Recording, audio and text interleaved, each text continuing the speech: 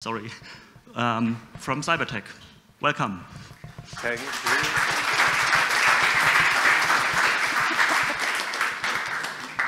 Thank you very much. You see, being at Cybertec is meaning being taken care of. I just got my espresso, which I was waiting for in vain for some time, I would say. So, welcome. That's a lot of people here. Thanks for coming. Um, as you might guess from the title already, uh, as one of the last talks in the conference, this won't be a very, very serious affair. Uh, so the topic is important, I think, uh, but the presentation will be hopefully enjoyable. I hope you all had already your coffees. and let's start. So, uh, about me, in, very briefly, I'm doing stuff with Postgres since 17 years, maybe. Uh, mostly as a DBA, sometimes developing this and that. But the main thing uh, which I like the most is just trying to be helpful uh, to whoever is coming up with a question about anything. But if it's Postgres, then it's optimal. So uh, few short words about the company. You might, at this time in the conference, you might already know. Uh, we have a number of uh, international offices alongside our uh, headquarters in Austria. And there are some new uh, offices coming up, uh, starting with India. Where is Raj? Raj is not here, is here.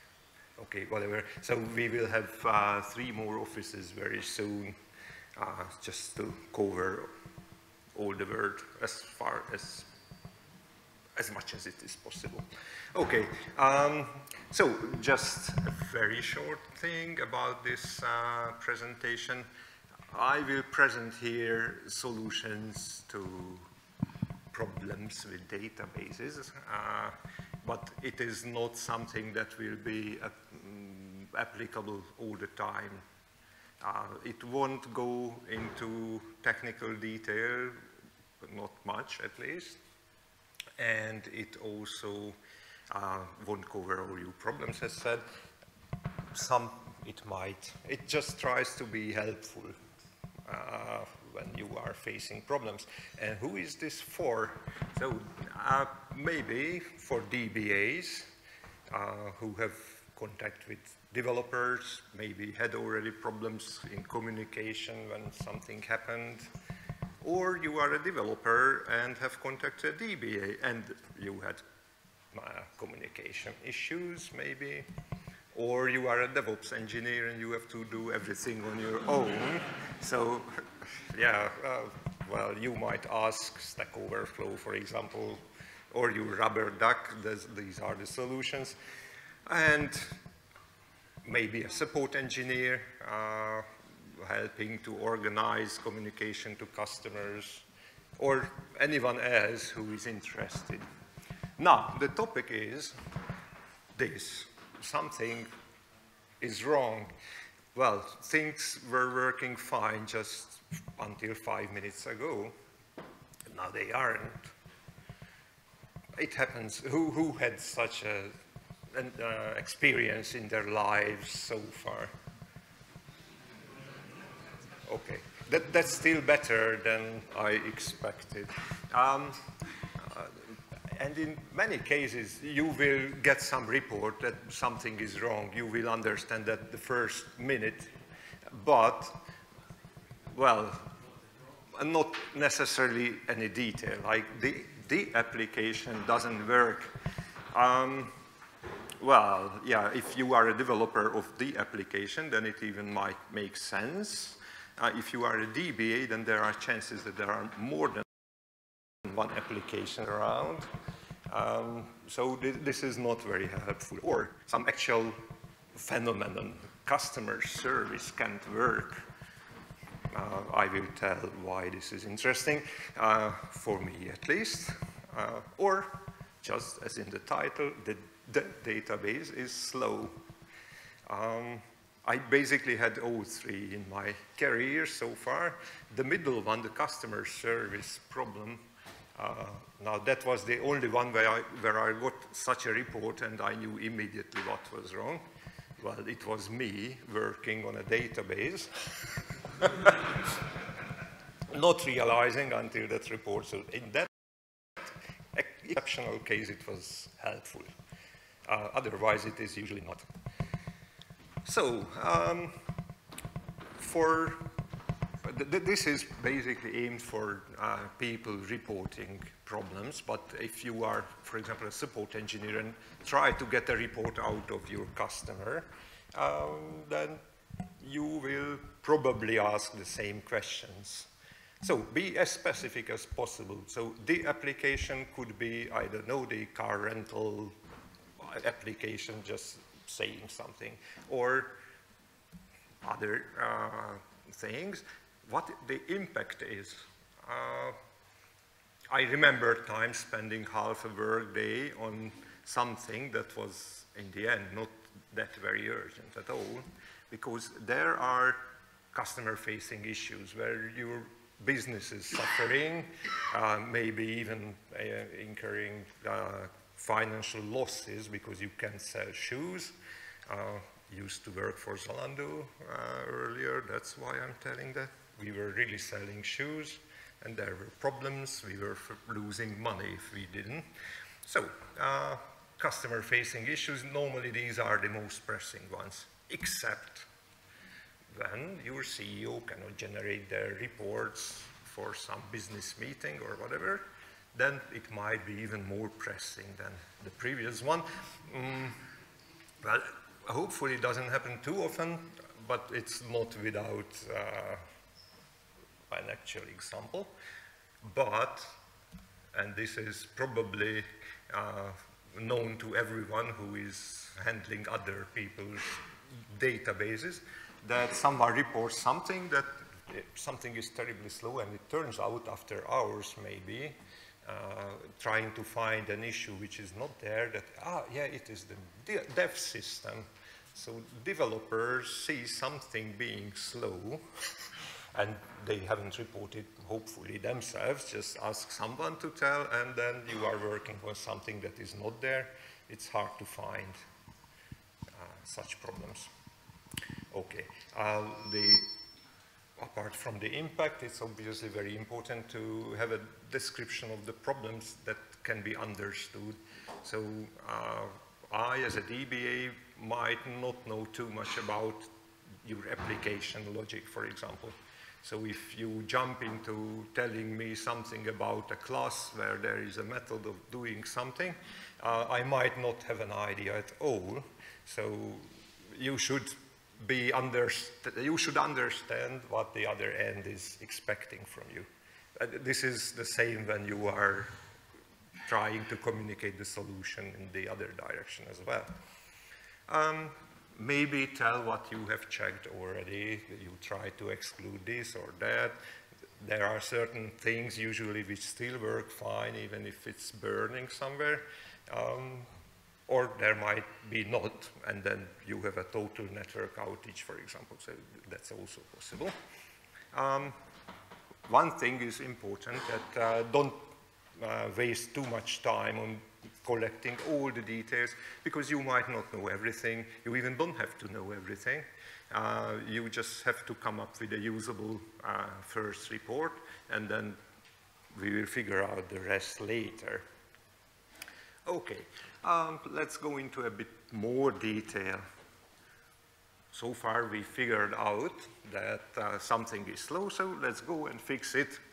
It's easy. Uh, I have to tell you something. Uh, I used to be a scientist and I am a somewhat old school guy. So there will be somewhat old school science uh, from now on in this presentation in the form of flowcharts. So let's just go and fix stuff uh, the database is slow, obviously.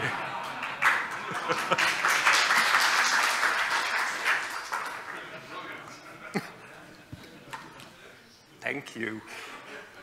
I promise there will be even more silence. Uh, some of that may be even usable. Um, so, okay, uh, the first thing, I don't know if you worked with storage engineers ever. Uh, you tell them that there is something fishy in the storage, they would say no. You collect evidence, they would say no. Sorry if there are any storage engineers. I will apologize later, you will see. Uh, and in the end, it turns out that yes, it is the storage after all. Uh, but this is the same. If you are reporting something to a database engineer, they will say that no, it's not the, the database is super stable. No one ever managed to crash it so far, uh, and it cannot be. But yeah, well, sometimes it still can be. Um, in these cases, it really helps uh, if you have observability. So you monitor stuff you have metrics about uh, what the database and your application are doing. Uh, also have an idea what the normal values uh, of these metrics should be. Um, you have maybe alerting, I mean in a sensible way that you don't just press your phone all the time on Opsgenie and muting some totally useless alerts, but it's alerting only when there is something wrong. And you have logging, both on the application side and in Postgres, or even tracing, that's, well, uh, modern stuff, um, but very useful uh, to figure out where the problems might be. Uh, just a few examples. This is uh, our own pgwatch. It's a demo uh, dashboard showing some key metrics so that you can have a quick view if something is wrong. You can even set colors if some, some thresholds are uh, passed and then it will be a bit more colorful right now. In this demo database doing nothing, everything was fine, sort of. Um, or you can have nice graphs. And you see, for example, on the bottom right, that's the number of log, uh, I mean, logged error messages in the Postgres logs. Uh, it might be a lot or not. In this case, it's not that bad, given the database this is coming from. But uh, yeah, it was, there were definitely errors. Uh, you might know if you can live with that or not. Uh, the CPU usage is definitely suspicious here, or at least it used to be at 6 in the evening yesterday.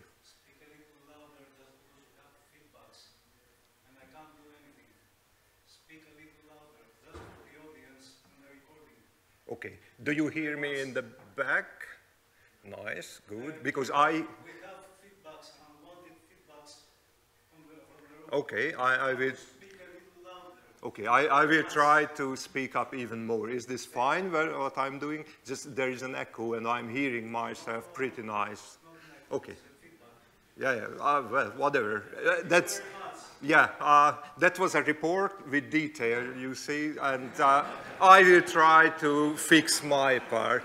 Uh, thank you. Really, but uh, that was specific enough. Um, yeah, what a luck to have that. So uh, I was mentioning tracing. This is an example um, from OpenTelemetry a, a document. Uh, and boo, now is the time you can boo because there is a line here, sorry for just leaving my place for a moment, uh, showing that the database is definitely misbehaving. Something was happening there for 264 milliseconds and a bit more, but it was MySQL, so we are still fine. okay, um, in any case, if I were a MySQL engineer, which I'm not, uh, then I would know that I should probably look into my database, or at least into this query, which uh, produced these results. Um, yeah, so that is a possibility. If it's not the database after all, like that trace was from somewhere else, you see a trace where three milliseconds uh, was the latency of the query, then, well, it can be the application itself. not unheard of, uh, to be honest. Or it can be the network even. Or, well, it might be just your own laptop doing, I don't know, a virus scanner update or something similar. Uh, you would notice because it will blow away your pieces of paper from your desk on either side. Um, yeah, it, it, really can happen that people are just don't, are noticing that something is pretty okay everywhere except here in this black thing. Um, but that's silly, I know. Um, so when the application is the culprit, it might look like this. This is database science. Well, there is a very simple method in a non-existent but very Python-looking uh, programming language. You execute a database query, uh, basically getting the plate number for a car. Uh, it returns fine, and then you something, do something else. In this case, I modeled this behavior of an application with a one second sleep call. And then you return the plate number to the caller of this function or method. This is a function, maybe. Um, and, well, this happens more often uh, than you would probably expect just it's not that obvious that it's sleeping somewhere. It might call an API from the other end of the world, or it might do something important, but it takes some time, and it will probably appear to the caller that the database returned this plate number pretty slowly. Well, it didn't, just, well, still the plate number was there somewhere in the system, just not coming out fast enough. Um, it might be that, uh, for example, the application is just waiting for connections uh, to the database. It can be a few different things, just general slowness of some, something. This is not helpful, I know. Um, there might even be some timeouts happening. Uh, more often than not, these happen because of uh, configuration issues. So there might be two things behind all this. Uh, well, you just initiate too many connections to the database and it is just fed up because there is max connection set to 100 and you are trying to open 150 connections, well, it won't work, obviously. And if your application is not uh, killing these attempts quickly, then you will just wait for them. Um, obviously, max connections is usually uh, the case when you don't have a connection pooler, but if you do have a connection pooler, it still might be the same if the configuration is wrong. Uh, if there are too many pools, for example, with too many potential uh, connections, then the pooler will wait until the database uh, has some free slots, and the application will know nothing about the pooler's internal, so it will just wait. Uh, this will be very uh, slow. So basically, if you have connection pooling, it can be bad. If you don't have connection pooling, it can be bad. You have to do both right. Um, yeah, so this is where we are now, science again. The database is slow, but is it really the database? Well, if not, then we are done. Uh, and have a coffee break. Uh, or if it is the database, that direction, then we are again at the phase that, okay, we have to do something, fix the problems. Uh, the do something might be a bit more complex than the previous. Uh, so th this is just a small help uh, for imagining how complex it can be. Maybe it is not that. Uh, okay, how bad the whole thing is. Um, you might notice after a while looking into the problem that in the end it's really, thanks, just a single query, very localized symptoms, or everything is slow. It is like this. Um, sometimes the single query is also like that, but uh, it depends on which query is slow. Uh, or more often there is a mixture, so there are some stuff running very slow, some others are fine. Okay, basically here we have a uh, three-pronged uh, choice, like Poseidon's trident. Either it is a very localized problem or not, or it's a mixture of something. Let's go to the left first and see what we can do with a single query issue. Well, the developer might even have an idea. So you identify which query it is, and they will have, oh yeah, ah, so we did something to it, now it's slow, sorry for that, let's fix it. And five minutes later, you have a new deployment, everything is fine. Or the ORM might know. Uh, now that's nasty because I don't know if you have ever tried to talk to an ORM. It's not easy. Uh, or there might be logs, application logs, for example. They might show something. Um, Postgres logs might also show something in case you have the necessary settings like log logmin duration statement to catch slow uh, queries. Obviously, slow can be a lot of different things like 100 milliseconds to five minutes or anything in between or beyond, uh, yeah, you have to have good logging in any case. That's the message here. Just a small remark, that's one of my problems in my brain, that if you have logs, especially database logs, please uh, take care of them, just like you would take care of your database access, because some of the database, I mean, the data in the database might appear in there as well don't expose them to, I don't know, in a public S3 bucket or something similar. Um, okay, so either in the logs or else where we found the query, let's fix it like this. It's fast and easy, uh, except that, well, sometimes it is not. Um, if you have the query, you have a couple of tables, you might even start a couple of analyze comments just to refresh statistics uh, until you get up to speed yourself.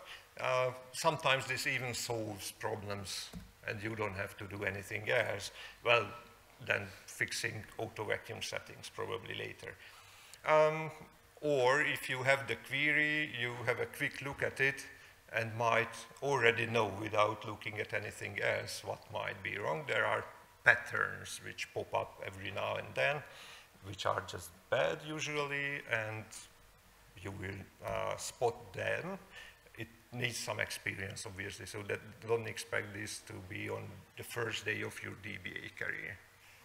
Uh, it helps if you have a nicely formatted query and a full table definition. So it's the cards table that is not a full table definition. It's mostly something like this, thanks to the Neon uh, people uh, for this snippet from a tutorial of theirs. Uh, you have uh, columns, indexes, constraints, uh, foreign keys, maybe triggers, maybe partitions, and so on and so on. It's important to know this, these details. And if you still don't know after looking at the table and the query, like there is an index missing, then use explain. Now that's a whole set of uh, presentations in itself. So yeah, let's just not go into too much detail, but there are some ideas what might uh, be wrong. A slow query is often doing a lot of unnecessary work, like here, basically delete, trying to delete something from a request table, uh, scanning the whole table, and then discarding all those rows. This is like 90 million rows, uh, because there was no matching row to be deleted. Uh, an index could probably help in this case. The probably is really there because these uh, conditions might not be that very easily indexable anyway. Or you have an index like here, I removed some parts of the explain plan, but it is still doing a lot of work for nothing. Um, you will see it in the buffers, uh, hits and uh, reads. well, there is an index, but not the right one. That is also happening sometimes. Um, well, create a better one or try to rewrite the query, for example. Or there is table bloat, just uh, causing a lot of reads for those very little number of rows. That's also a possibility. Or you are using conditions in your workflows which are not supported by indexes because, I don't know, date trunc is a typical uh, suspect here and there are some uh, patterns here and there. Yeah, you might have to rewrite the query or create a very specific index, but that might be a bit costly on the long run. Yeah, if the wrong index is used, you might want to raise statistics target or even create custom statistics for the uh, given query or do something else. Uh, it's again pretty long. I don't want to go into details here. And this is where we are at this moment. Well, you won't see it from even the first rows probably, but you will see when you go to the slides later. Uh, I even plan to put together all this on a big sheet of PDF, maybe, uh, so that one can just look at that. Um, so we were there uh, post, huh? That's not I wanted to show. Can we get rid of this somehow?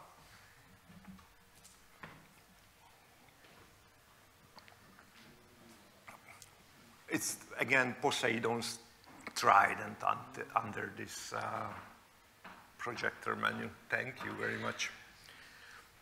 Um, so everything is slow. We might see long waits uh, in our monitoring, obviously.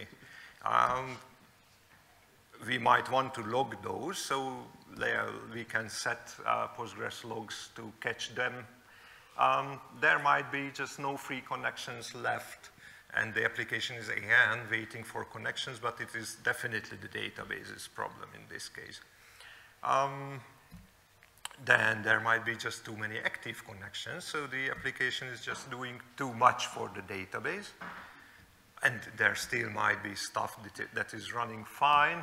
I will just jump over some of this uh, because I don't have too much time. Um, so yeah, I wanted to uh, sing at this moment. This is what was uh, popped to my mind. Uh, I am waiting at the counter, says the database query or the application even, um, because there are locks held for too long. For example, there is an idling uh, transaction uh, connection somewhere. Um, it might be the developer trying to fix something and forgetting their client open uh, in a not auto commit mode, for example. You might set a session time, I mean, idle in transaction session timeout just to prevent these. Um, also use logs and pgstat activity to find out who was that or what was that, find the source and try to fix it. Um, or there are just long-running transactions based on application logic maybe, or someone is running analytics queries on an otherwise very busy OLTP primary or something like that, or someone had the idea that now is the time to update a lot of data, uh, and now we are selling shoes for Christmas, and uh, that doesn't work very well together usually. Um, yeah, long-running transactions in general are evil. They make databases unhealthy. So this is a case where I found an idling transaction uh, session somewhere. Um, unfortunately, I cut this uh, chart a bit, not very nicely, but uh, there are two, the top there is a thousand uh, of CPU load sort of, uh, you cannot really translate it one to one, but the green stuff is doing something, the orange stuff is waiting for locks. Uh, suddenly, when killing that single uh, transaction, everything became nice. So when you see this, low-hanging fruit, look for idling transactions, if there is any for more than, I don't know, a minute or even less sometimes, just kill it, Uh, and you will be fine. Except when not, and the dotted line going from the right down, that's my optimism that we will fix this problem eventually, even if not by killing an idling transaction session.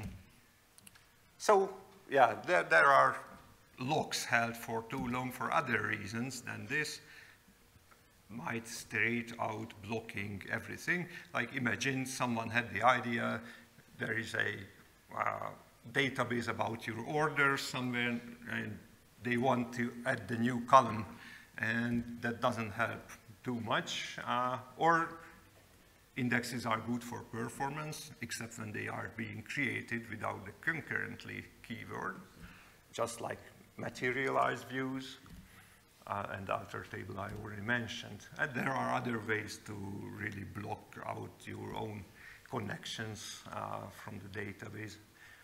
Or there are just writes to a very central table, a bit too many of them, which might result into uh, table bloat, uh, which will, because this table is so very central, it will slow down everything. There, uh, yeah, like, uh, this is the wrong order of the uh, pictures, but this was a case of like that. You see, or you could see that there was an update statement running a lot, really a lot, basically with every transaction, and it caused a lot of uh, waiting. Once we managed to do a vacuum full on it and make the table way smaller, things return to sort of normal. That's to be seen on the right end of this. Um, yeah, so if there is something blocking, if you can stop it, please stop it. If you cannot, well, you might have to wait until it's gone. Uh, it's not nice. This waiting time is not nice usually, but there are cases you cannot do too much to it. Um, and I mentioned bloat, table bloat. Uh, when the physical size is way bigger than it, I mean, the actual contents of the table would uh, explain. Uh, there are reasons uh, in Postgres for that. Well, try to unbloat it one way or another. Vacuum full or PG squeeze or something might come to the rescue here. Uh, this might still not fix just about everything. Um, what is coming is the last probably low-hanging fruit, uh, but uh, after that it's a bit more complicated. Yeah, uh, that is also a possibility that you only have, uh, well, too many active connections, which are really doing something, uh, not fast enough. And then we can just jump back and try to fix queries maybe one by one. Uh, and well, that might solve the issue after all. But these things can accumulate sort of. So things are fine, fine, fine, fine, nearly fine, and suddenly they will be very bad. Just, uh, and it's hard to catch the nearly fine status. Uh, and when it's very bad, then you are stressed to figure out what's wrong. Um, or there is just Christmas coming, really your uh, web shop is going crazy and you haven't prepared for that. So probably you just have to uh, beef up your hardware or cloud instances or whatever else you can beef up here to make things work fine. Uh, yeah, prepare for peak times, especially if they are predictable, like Christmas in certain businesses. Thank you, 15 minutes. Uh, yep, uh, well, and this is the final piece of low-hanging fruit I promised you. Sudden drop of query performance might be caused by some change in your system like a new piece of workload hit the fan. Uh, well, the workload is probably good enough to hit a fan, but uh, it's still uh, found the database and the whole system unprepared. Um, if you don't know in advance about that, then it might not be nice and probably figuring out this under stress is not the best times of your workday, but whatever. Um, yeah, talk to each other if you have database people and developers and some other people in between. Uh, it helps. Yeah, uh, sometimes it is not that uh, very easily uh, spottable, like a new deployment coming in with new tables and new everything. It might be just a shift in data uh, distribution. I think there are some colleagues from my old team who might remember the case when we had a big warehouse like between one and 2,000 people working in there, and there was a printer somewhere printing the labels that would be put onto the boxes which would be then sent to the customers. Now this printer ran out of toner or paper or electricity, or I don't remember exactly, it stopped working and stopped printing. Suddenly, uh, the status, which was approximately to be shipped of uh, parcels, which was very rare because well, there was a box, there was a stamp, it went out, and when it reached the DHL trucks very close to there, uh, normally it would take one, two minutes maybe being in that status. Now in this case, because there were no labels, there was a big queue of these boxes and uh, instead of like a hundredth of a percent of uh, the act active orders, uh, being in that state, it was one person, then two persons, and all the queries that were working fine normally were not working at all anymore. Uh, yeah, because one single status became uh, way more frequent than it used to be. Um, it was a fight to find out what was wrong. Uh, in the end, we just had to raise statistics targets so that the tail, which is normally not even visible in the uh, table statistics, would be visible after all. Uh, yeah, uh, another typical thing nowadays, you have cloud set up, uh, you have I.O. somewhere, like an EBS volume or something, and it has a size. And with that size, it, there comes an IOPS limit. And when you hit this limit, then suddenly just everything gets very slow, basically, because everything is just waiting on the I.O., waiting, waiting, and then it can get pretty bad. Um, in most cases, there is a quick fix, workaround to that, which is increasing the storage. That's a good trick. But for example, with EBS volumes, if I remember correctly, you can do it only every six hours, and then there is a cool down period. Um, you cannot do it too often. Uh, but that six, those six hours might win you the time to fix the actual issue, uh, which causes uh, the high IO usage. Mm, yeah, that, that's a possibility. Uh, and it really comes like boom, especially if you are using burstable uh, stuff, so smaller uh, instances and whatnot. Um, but yeah, terms and conditions apply. Really don't misuse this because it can hurt again if six hours is not enough to fix your problems. Um, or it might be just server restart and then your cache is gone uh, I will show a case which was pretty bad. We still could not explain why it was behaving like that, but it was one of the worst uh, cases of this. So you will lose your database system cache and will have to warm it up again so that the query performance is like it used to be before. Or there is some problem with storage, so some lower level problem. I have to tell this is not uh, something we see very often. Thank you. Um, well, it might still be, but try to exclude all the other possibilities beforehand because, for example, I don't know too much about storage when it really comes to problems with storage. I am a user of storage. So this is the case I wanted to show you. The Uh, green one, again, is the useful database work. The blue one is I.O. wait. Basically, in some cases, 33% of the activity in this instance was just waiting on I.O. Um, after a server restart. Uh, even Google support could not explain why this was happening. It went away after a week or so, but until that it was just terrible.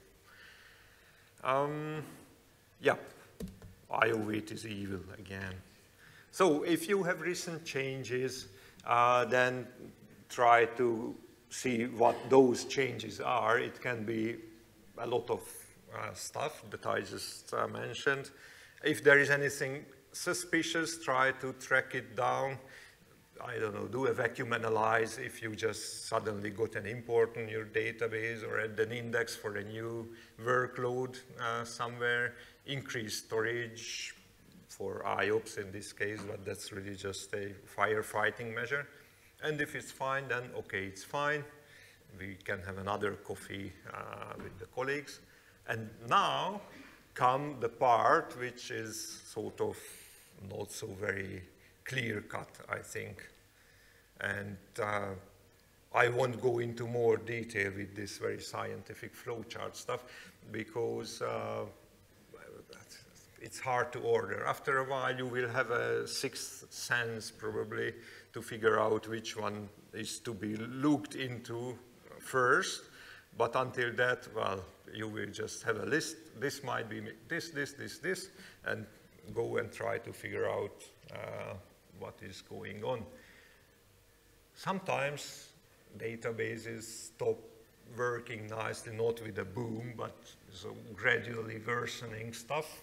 Uh, depending on your alerting and everything, it might be harder to notice, obviously. For example, it is just started doing recently too much I.O. Maybe it's because your memory uh, is not big enough, I mean actual RAM. Or the RAM is already big enough, but shared buffers were just brought over from a smaller instance earlier. No one uh, managed to uh, update it because it needs a Postgres restart even, and you cannot afford it, for example, it can happen. Or, for example, work workmem is too small, or at least for certain queries it is too small. Um, it won't help too much, and then you will start waiting on I.O. like I showed that. That was obviously a different reason, but the outcome will be very similar. Um, you can have a look at your cache hit ratio, for example. If it's very bad, then it can be a sign that, well, you don't have enough cache size. I mean, shared buffers, there is nowhere uh, the database can put those pages it visits often. And then you will see it is reading a lot from disk or file system cache or wherever. Um, yeah, if you have it, I mean, bad cache hit ratio, uh, then things might be pretty bad already. Try to go for a resize or reconfiguration of things. But it also might be that you are just reading too much unnecessary data. Um, at a client of ours, uh, they just figured out at some point that this gradual worsening and uh, increase of the I.O. Uh, activity was caused because they were wrapping stuff into uh, in a way that it could be sent to uh, GraphQL queries. So they were building JSON-B data and the select star somewhere there was pretty well hidden, thank you, uh, well hidden down in those queries until someone figured out that some of those stars, so the old columns, some are big, going into toast tables, totally unnecessary in, in most cases. Uh, yeah, please try to get rid of select star anyway, because that's just usually not necessary, uh, in an application at least. Yeah, uh, so if you don't read the data you don't need for your application, you might get away with this easily. Um, and yeah, well, that's just a possibility. It can be way more complex than that. Uh, or your CPU is just plateauing for some time. Uh, and if you pick some of the critical queries, they just behave fine. No problem with that. Or, I don't know, for example, during the night at 2 a.m., everything is fine, but during the day, everything is just very bad. Then it might be that, well, you just simply have to crank up the core count. Uh, in a cloud setup, it might be just a click somewhere. Uh, uh, otherwise, it might be a bit more complicated than that. This is a case uh, where we figured out exactly that. Uh, you don't see the bottom, but this is one week's worth of CPU load. Uh, steps, uh, well, with some exceptions, over 90%, nearly constantly, but days on it was over 90%. Uh, and never hitting 100%. Uh, so this was when we had to decide, yeah, uh, we have to go for a slightly bigger uh, instance, and it helped. Uh, it might not help in all cases. Uh, there might be some load that is just waiting to jump on you, and if you give four times more CPU cores, then it will just skyrocket up to 98% again, and will stay there forever. Then you will have uh, to find what it is uh, really. Um, anyway, from the climate change or preventing it or making it less bad, uh, it, it, makes sense to try to lower your CPU load, not by cranking up CPU cores, but taking care of your query performance. That was from me. Thank you very much. Um,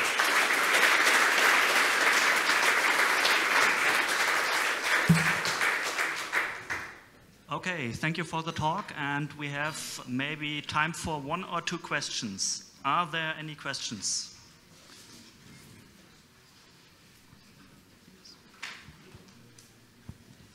Hello. Uh, you mentioned at some point prepare for peak times, assuming you know them beforehand. Sorry, I don't hear it right now. Okay, uh, my apologies. You mentioned at some point prepare for peak times. Yeah. So how does one do that like I can understand not, let's say, do not vacuum, do not create a big, you know, do not populate big tables, all that kind of stuff, Do not, do, not do that stuff, but how does one prepare uh, for well, such cases? Uh, it depends. If it is a traditional Postgres instance, which is supposed to serve a predictable high uh, load for maybe a week, then yeah, just add RAM, add CPU, go for a bigger cloud instance or whatever. There are even services, but those are usually not open source Postgres, which would help you going uh, that way. Or use, I don't know, there were some uh, presentations about serverless Postgres, use some similar solution so that you have the capacity when you need it and maybe you don't pay for it when you don't need it. So it, it is hard to tell in advance and without knowing the setup, but okay. yeah, Thank like you. that, no problem. One last question. Anyone? Okay, then thank you very much. Thanks.